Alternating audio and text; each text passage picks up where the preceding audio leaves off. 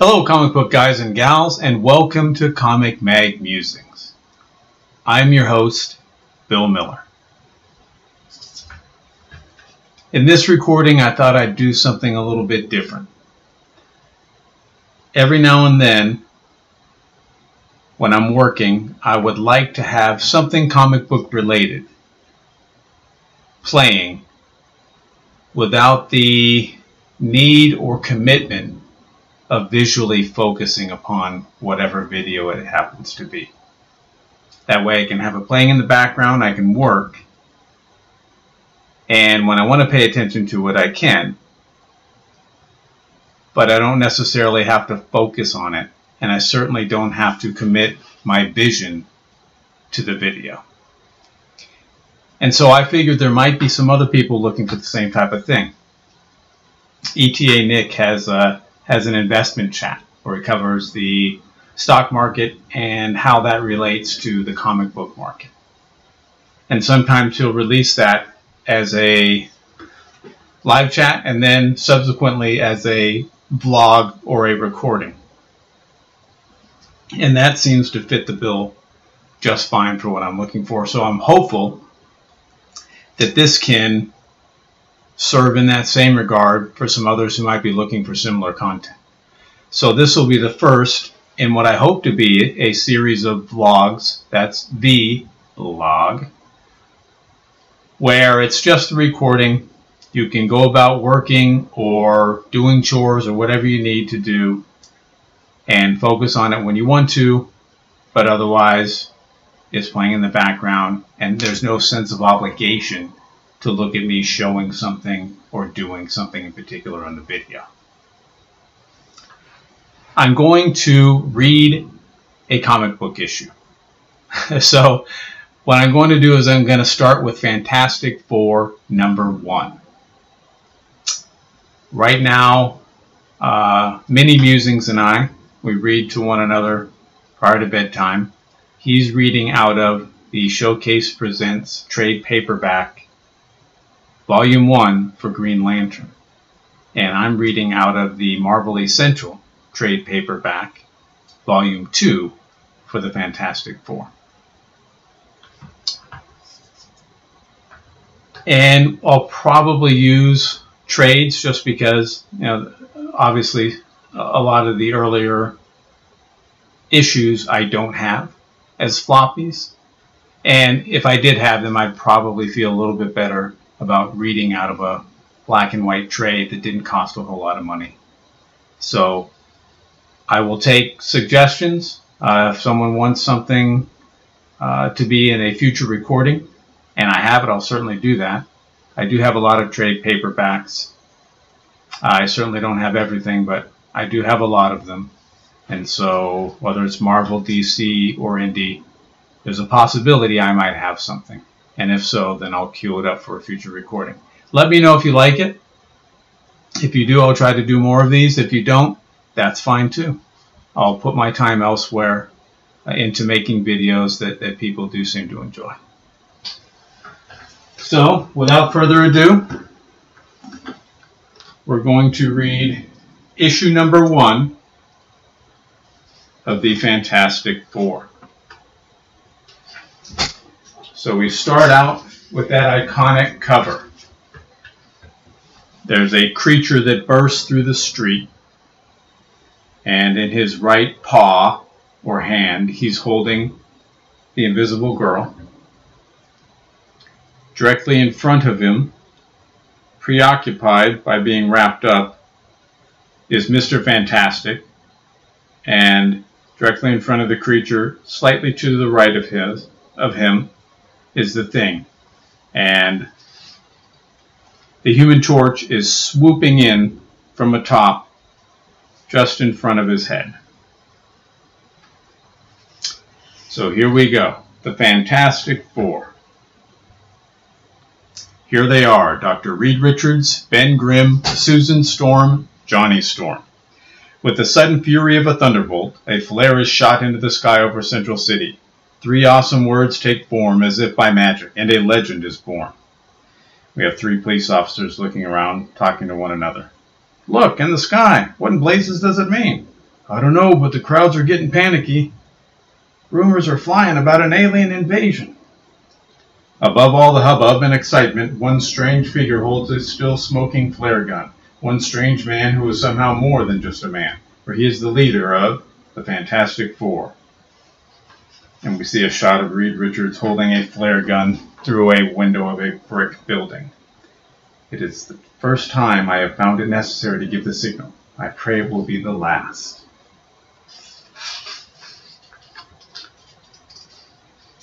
And now we see the invisible girl with a friend of hers inside of a room. In another part of town, Susan Storm is having tea with a society friend when she hears the ominous words. Susan, look, those words in the sky, what do they mean? So it has happened at last. I must be true to my vow. There can be no turning back. It is time for the world to meet the invisible girl. Susan, she she's gone, but where? How? And Susan turns invisible and leaves her friend perplexed. And just outside of a brick building, we see her still invisible moving through a crowd. Hey, what's going on? Some something rushed past me, something unseen. Stand aside, I have no time to lose. It it's a ghost. Just what I need, an empty cab. The cab driver says, Boy, what a dull day. I might as well cruise around until I pick up a fare. So the invisible girl got in the cab, unbeknownst to the driver. Thank you, I will get out here. Okay. Huh? Wait. Who said that? What? There's a floating bit of currency right in front of him. Don't just sit there gaping, man. Take your money. Uh, I'm seeing things, hearing things, or, or not seeing them. Gangway, I'm getting out of here. He leaves in a dust of fury. It works. I really am invisible. Completely, totally invisible. There can be no doubt. Now all that remains is my mission. But let us leave the amazing invisible girl and turn our attention to a men's clothing store in another part of town. So we see a gentleman in a hat, glasses, and a big trench coat. I'm sorry, mister, I just don't carry anything big enough to fit a man your size. Ah, everywhere it is the same. I live in a world too small for me. Look, out in the window in the sky. Those words, the Fantastic Four, what can they mean? So, the time has come. Wait, don't bother taking off your coat. I told you we haven't anything in your size. Your, your size. Oh, no. And the man faints. What a relief to get rid of those tight rags. As we see the thing exiting through the wall of the building. Why must they build doorways so narrow? Holy smoke, a, a monster. And then we see the police on the scene. Pete, look, what's that? I don't know, but I ain't taking any chances with it. Halt, halt or I'll shoot. Okay, I warned you. He shoots at the thing. The thing is unaffected, but he picks up a manhole cover from the street. His first shot missed because he was so nervous, but he'll not get another chance. Did you see that? He ripped the manhole cover out of the ground with his bare hands. It's impossible. And the thing drops down into the sewer. I have gone far enough. I should be under my destination by now. But there is no manhole above me, no opening. Ah, I cannot delay. I'll make an opening. And he bursts through the street. And as he comes up through the street, a car runs right into him, and the front end of the car is smashed. What is that? Right in front of me. Oh no, it's alive. Fool, did you not see me in time? It's a walking nightmare. Help, help. And the car occupants of the car take off in a dash. Lily livered cowards. It ain't human, it's too big, too strong. It, it's a Martian. Minutes later, the police riot squad reaches the scene. There's no one here. Street's deserted. Then who put in that danger call? I don't know how to explain it, but there's something weird happening in Central City. Those words in the sky, those scattered reports of monsters walking the streets. But what does that up to, Chief? What? What does it add up to, indeed? Perhaps if the police officers could witness still another scene in a local service station, they would find yet another clue, as will we. We got her purring gentle as a lamb, Johnny. Good, that's the way I like her. There's only one thing in the world that interests me more than cars. Yeah? What's that, Johnny? Hey, Johnny, look, in the sky, those words, they're all coming together. They're turning into a number, the number four. As they both look up and see the number four in the sky. Johnny, that heat, where's it coming from? What what's happened to you? Don't worry, pal. You're turning into a, a human torch. Remember me saying there was only one thing I care about more than cars? Well, this is it. And Johnny Storm flames on and takes off from the car. Impossible, incredible, call it what you will, but the figure which had been Johnny Storm scant seconds before is now a careening human torch, flashing through the skies above like a flaming meteor. Look, a blazing com burning comet. No, it's not a comet, it's it's unless we're going mad, it's something human. Seconds later, the mayor of Central City issues an emergency order. Call the governor. Have him alert the National Guard. Move, man. Y yes, sir. And before the hour is out, Washington has also taken immediate action.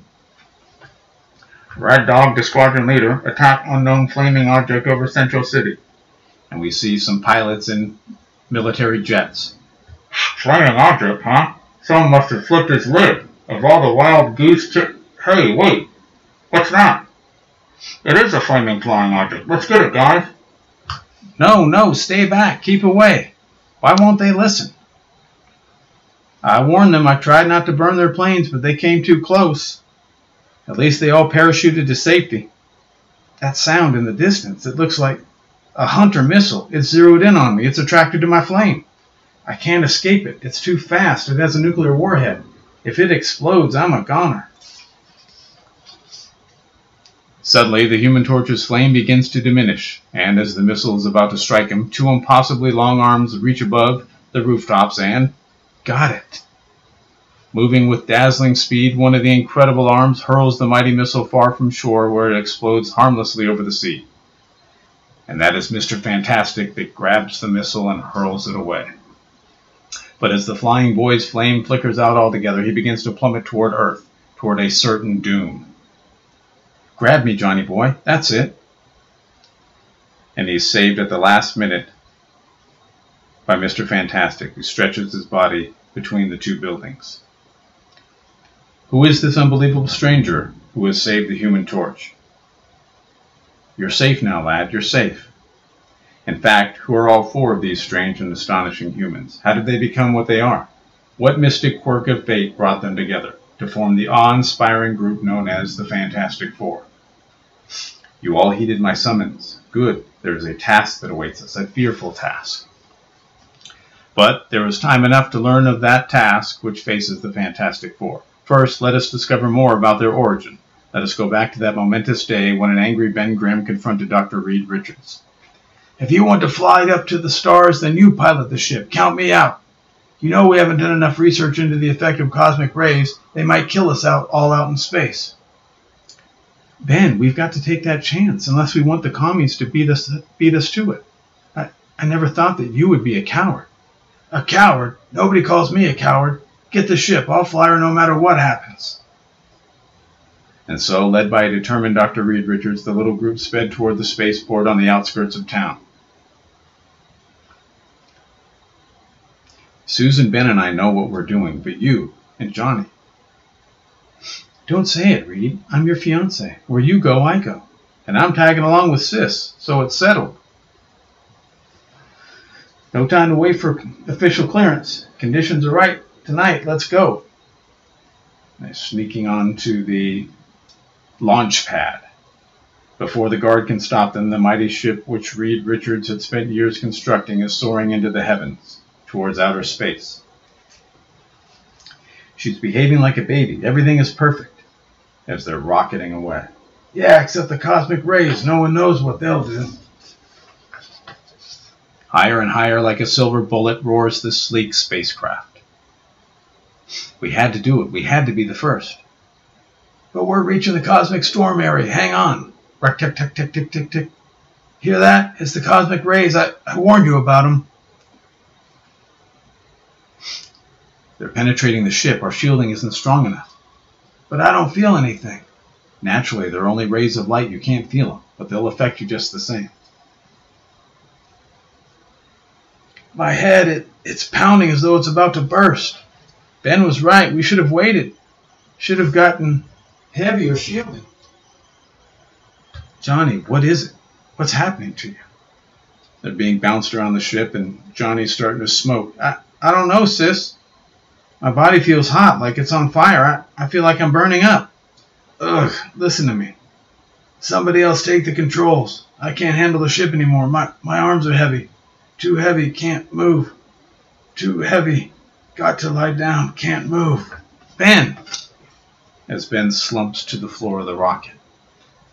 At that moment, the powerful ship's automatic pilot took over and managed to return the sleek rocket safely to Earth in a rough but non-fatal landing. They all cleared themselves of the debris and wreckage. I, am grateful we're all alive. It was mighty close. But Reed, we failed. After all your work, your dedication, we failed. Ah, what'd you expect? But we're still not completely safe. We still have to see whether the cosmic rays affected us in any way. Oh, Reed, I feel so strange. Susan. Look at Susan. What's wrong? You're fading away. Oh, no, no. It's impossible. Somehow the cosmic rays have altered your atomic structure, making you grow invisible. Sis, I can't see you at all anymore. How, how long will it last? There's no way of knowing. What, what if she never gets visible again? Look, I see her. I'm myself again. It happened so suddenly, all by itself. Thank heavens you're all right, my darling. All right, eh? How do you know, wise guy? How do you know she won't turn invisible again? How do you know what'll happen to the rest of us? Ben, I'm sick and tired of your insults, of your complaining. I didn't purposely cause our flight to fail. And I'm sick of you, period. In fact, I'm going to paste you right in that smug face of yours. Ben, stop. Wait. Look what's happening to you. You're, you're changing. Don't try to talk your way out of it, mister. I'm going to mop up the place with you. Run, Reed, darling. He's turned into a, a some sort of a thing. He's strong as an ox. Reed, darling, uh, how can you care for that weakling when I'm here? I'll prove to you that you love the wrong man, Susan. I'll. Hey, what? No, you don't. So the thing has pulled up a tree and swung at Reed, whose rubbery body has managed to contort itself to miss the impact. You've had this coming to you for a long time, Ben. Oh, Reed, Reed, not you too. Not you too. What am I doing? What happened to me? To all of us? And Reed has wrapped his long arms around the thing many times. You've turned into monsters, both of you. It's those rays, those terrible cosmic rays. This is Johnny. And don't ask me why he has a southern accent and the others don't. we need to distinguish the characters. Now I know why I've been feeling so warm. Look at me. They've affected me too. When I get excited, I can feel my body begin to blaze. And he lights up into the torch. I'm lighter than air. I can fly. Look, I can fly. Minutes later, Johnny Storm's flames subsided, and he landed near the other three. Silently, they watched the small fire he had started in the underbrush burn itself out. Silently, they were each occupied with their own startling thoughts. And they all think simultaneously, we've changed, all of us. We're more than just human. Listen to me, all of you. That means you too, Ben. Together we have more power than any humans have ever possessed. You don't have to make a speech, Big Shot. We understand. We got to use that power to help mankind, right? Right, Ben. Right. I'm calling myself the Human Torch, and I'm with you all the way. Same goes for me, the Invisible Girl. There's only one still missing. Ben? I ain't Ben anymore. I'm what Susan called me, the Thing. And I'll call myself Mr. Fantastic. And so was born the Fantastic Four, and from that moment on, the world would never again be the same. That's the end of the first story. And now we begin the next story in this issue. The Fantastic Four meet the Mole Man. And now, having met our four amazing characters, let us resume our tale. I called you together because I have some pictures to show you. Pictures? What are they, pinups? Look, all of you, this used to be an atomic plant behind the Iron Curtain. Wow, what happened to it? The same thing that happened to the other atomic plants on, on those photos. This one is in Australia, and this is in South America. That's just it. It's happening to atomic plants all over the world. No one knows how or why. Wait, according to the steady impulses on my radar machine, another cave-in is about due to take place. And even as Reed Richards speaks halfway around the world in French Africa, the following scene is taking place. What is wrong, Pierre?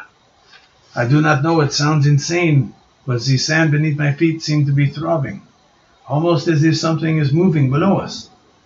Almost as if. Listen. Don't you feel it? Help! It is an earthquake, but here in the desert, impossible.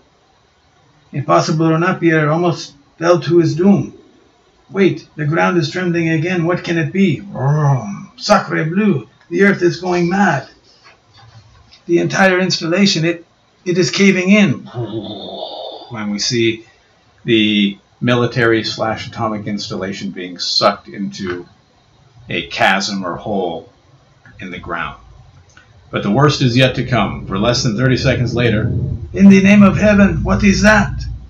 What indeed? It is a gigantic pair of claws, the likes of which have never been seen on Earth or on any planet in the universe. It is unbelievable, mind staggering, but real. Artillery! Bring the artillery! Hurry! Hurry!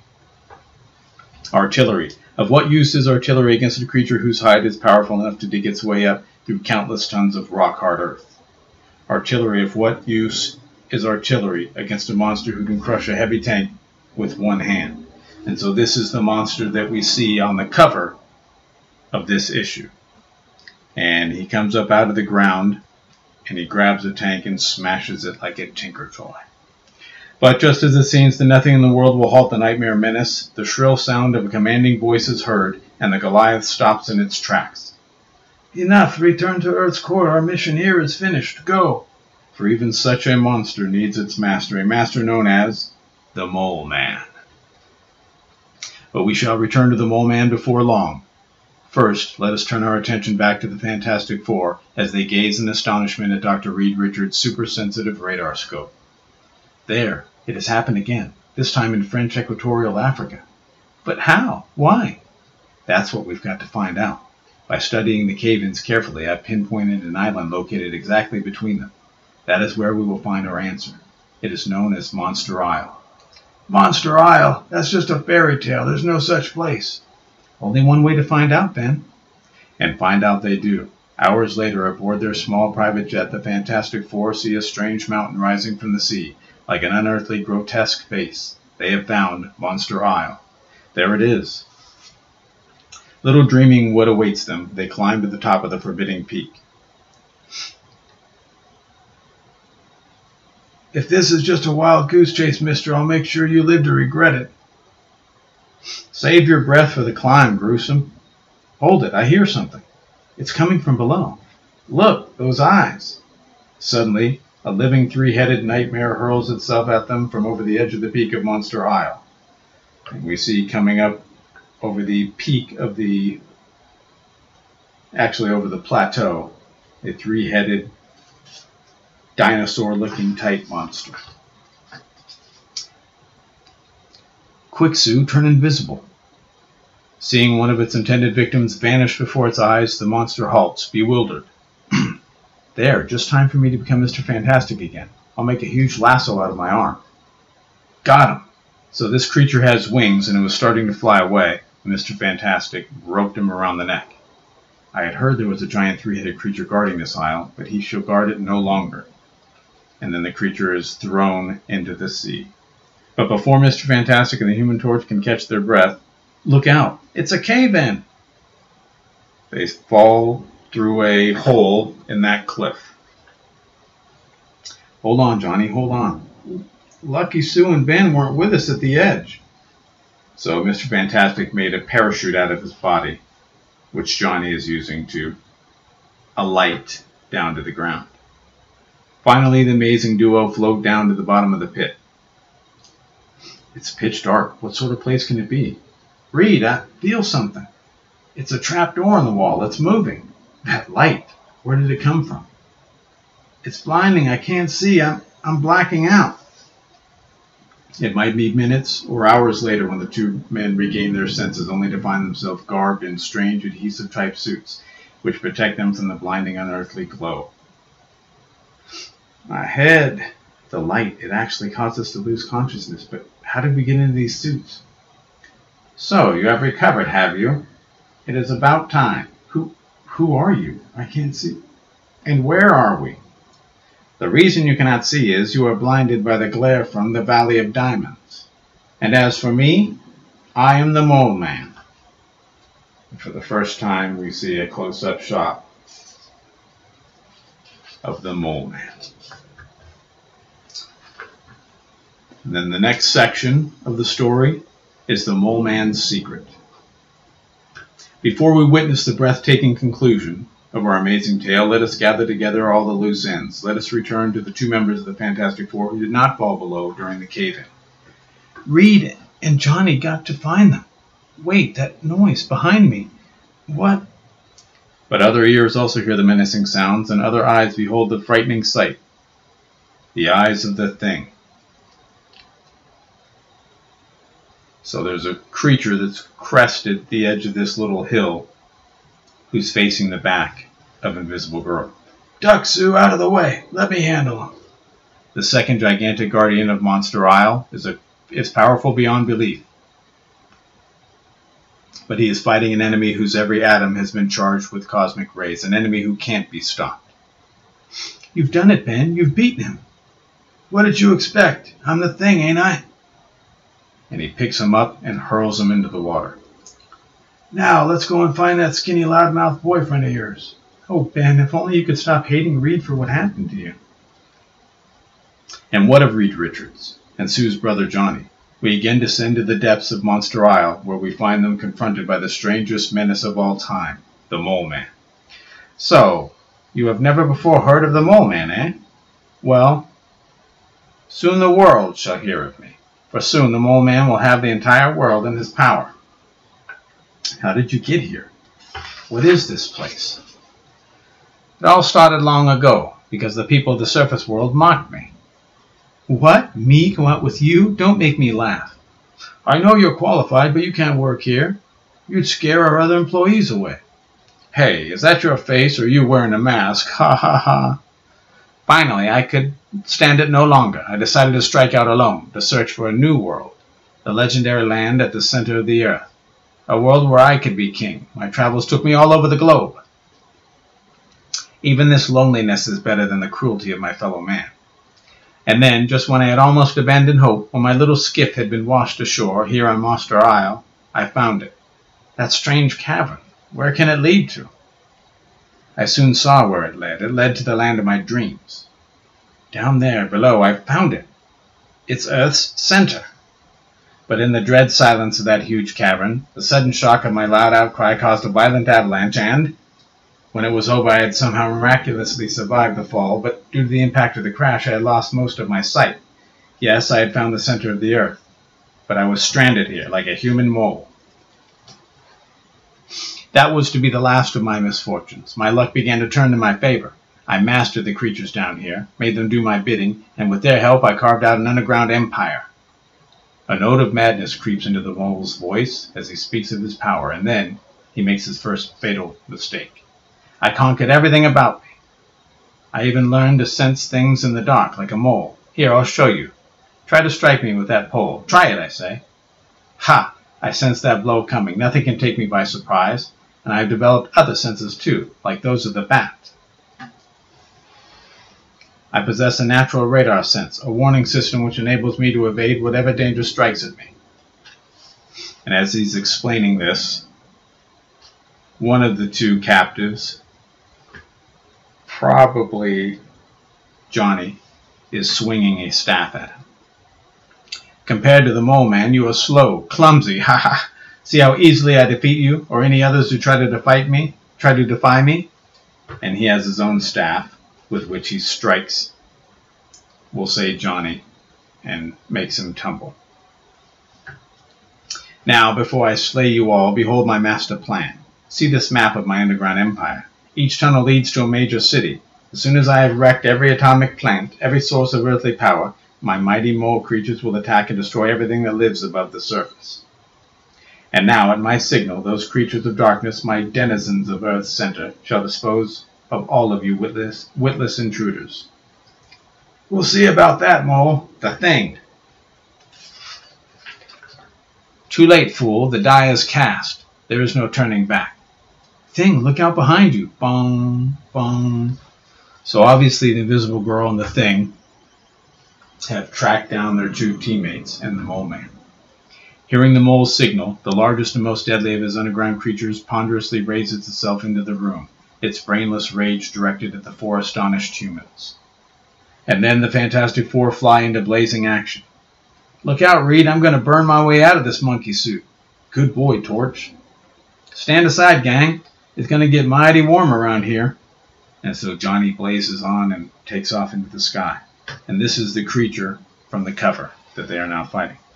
Back and forth, buzzing around the monster's head like a hornet, flies the human torch as the gigantic creature vainly tries to grasp his fiery foe. Reed, the mole man, he's escaping. Not if I can help it, Sue. And help it I can. So Reed stretches his arm out to grab the fleeing mole man.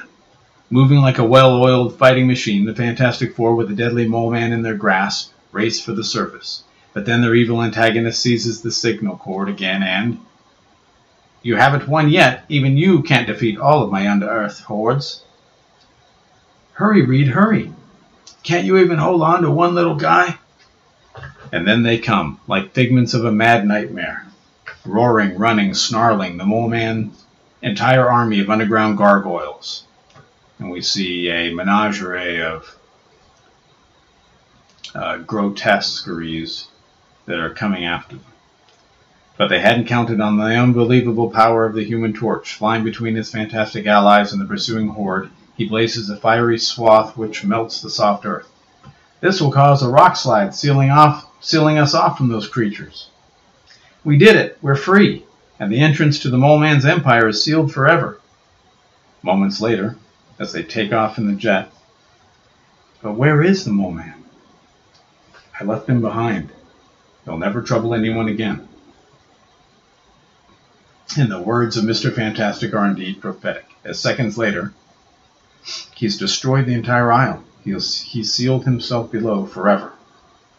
It's best that way. There was no place for him in our world. Perhaps he'll find peace down there. I hope so. I just hope we have seen the last of him.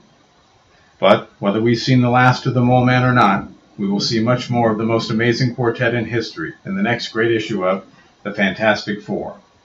Don't miss it. And that is the end of The Fantastic Four, issue number one. I certainly hope you enjoyed it. If you did, I would encourage you to subscribe and hit that notification bell. That way you'll be alerted as soon as I release new recordings. Thumbs up and comments are always appreciated. And remember, we're taking over the world one comic book at a time.